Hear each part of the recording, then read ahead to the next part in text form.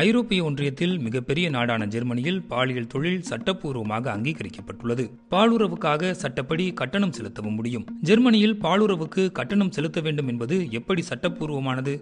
இதில் இருக்கக்கூடிய சாதக பாதகங்கள் என்ன? இரண்டாயிரத்தி இரண்டாம் ஆண்டிலிருந்து தொடங்குவோம். அப்போதிலிருந்து ஜெர்மனியில் பாலியல் தொழில் சட்டப்பூர்வமாக அனுமதிக்கப்பட்டு வருகிறது.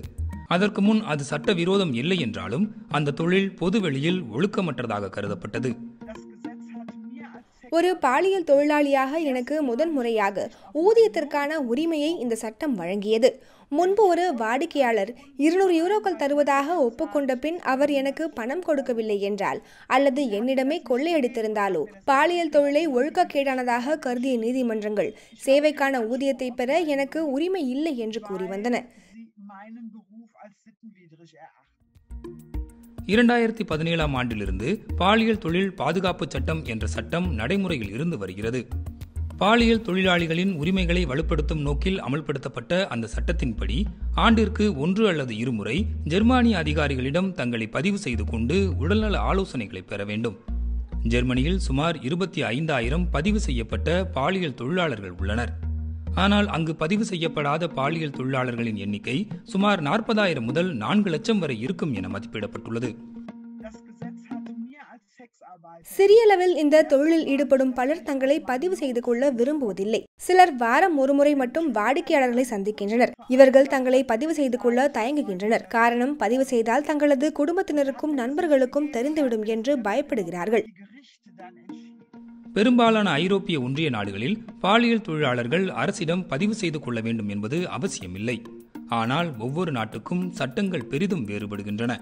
ரொமேனியா குரோஷியா லித்துவேனியா போன்ற நாடுகளில் பாலியல் தொழில் முற்றிலுமாக தடை செய்யப்பட்டுள்ளது. ஸ்வீடன் பிரான்ஸ் மற்றும் அயர்லாந்தில் அரசுகள் தடை விதித்துள்ளன.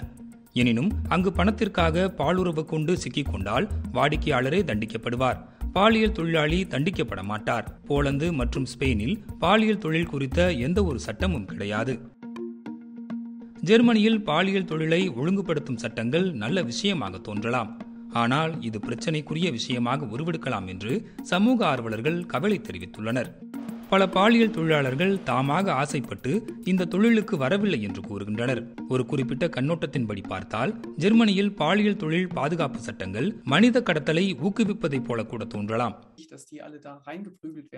இவர்கள் தாமாக முன்வரவில்லை என்பதற்கு இவர்கள் அடித்து துன்புறுத்தப்பட்டு அழைத்து வரப்பட்டார்கள் என்று நான் சொல்ல வரவில்லை. பெரும்பாலானோர் கிழக்கு ஐரோப்பாவிலிருந்து கடும் வறுமையின் காரணமாக பாலியல் தொழிலை தேர்ந்தெடுக்கின்றனர். தங்கள் குடும்பங்களாலோ அல்லது சில சுயநலவாதிகளாலோ பெண்கள் பாலியல் தொழிலுக்கு தள்ளப்படுகிறார்கள். பல சமயங்களில் இந்த தொழிலில் அவர்களுக்கு என்ன காத்திருக்கிறது என்பது கூட அவர்களுக்கு தெரியாது. பாலியல் தொழில் சட்டப்பூர்வமானது என்றால் அந்த சந்தையின் தேவையை பூர்த்தி செய்ய பல முயற்சிகள் நடக்கும். மனித கடத்தல் இல்லை என்றால் இந்த சந்தையின் தேவையை பூர்த்தி செய்ய முடியாது. ஏனென்றால் தாமாக இந்த தொழிலுக்கு செல்ல விரும்பும் ஜெர்மானிய பெண்கள் மிக குறைவு. பல அரசியல்வாதிகளின் கருத்தும் இதுதான். ஜெர்மனியில் பாலியல் தொழிலை தடை செய்ய வேண்டும் என்று பல ஆண்டுகளாக கூறி வருகிறார்கள்.